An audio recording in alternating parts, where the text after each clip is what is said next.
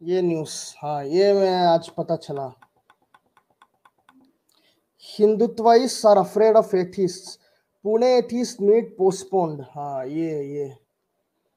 तो मैं दिखाता हूँ।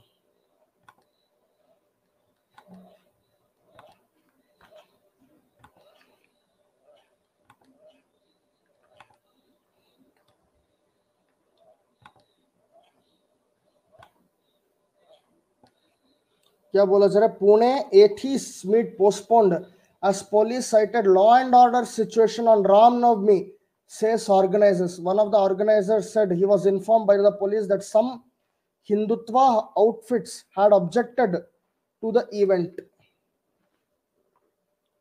भाई क्या ऑब्जेक्शन है? मेरे को बताइए हिंदुत्व आउटफिट से।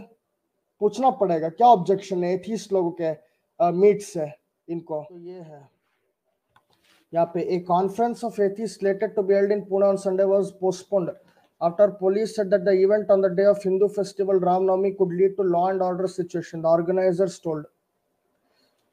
The conference scheduled to be held at city's SM Joshi Foundation Hall between 10 a.m. to 1 p.m. on Sunday was organized by a group called Shahid Bhagat Singh Vichar Manch. लो भैया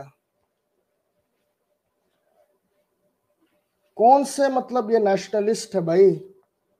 जो अपने आप को नेशनलिस्ट कहते हैं, लेकिन जो हमारे रेवोल्यूशनरी थे, उनके विचार पे मतलब चलने से रोकता है।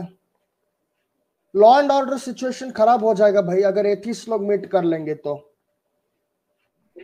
तो ये हुआ है। एक्चुअल रिसेंट न्यूज़ ये कवर किया गया है, अभी फ़िलहाल।